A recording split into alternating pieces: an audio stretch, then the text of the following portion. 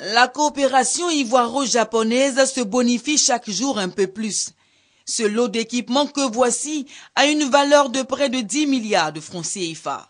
Composé de véhicules de type 4x4, de camions cargo et de citernes à carburant, les clés de ces matériels techniques ont été remises ce jeudi par l'ambassadeur du Japon en Côte d'Ivoire au Premier ministre Daniel Kablan-Duncan.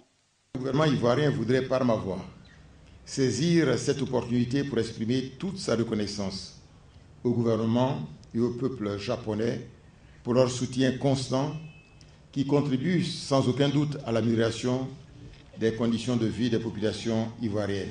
La Société de développement des forêts, l'Office ivoirien des parcs et réserves, l'Office national de l'eau potable et l'Office national de la protection civile sont les structures bénéficiaires de ces équipements. Cet appui s'inscrit dans le cadre du programme de préservation des forêts ivoiriennes et de gestion des catastrophes naturelles causées par les changements climatiques. L'objectif du donateur est tout aussi réaliste que les résultats attendus de l'utilisation de ces équipements.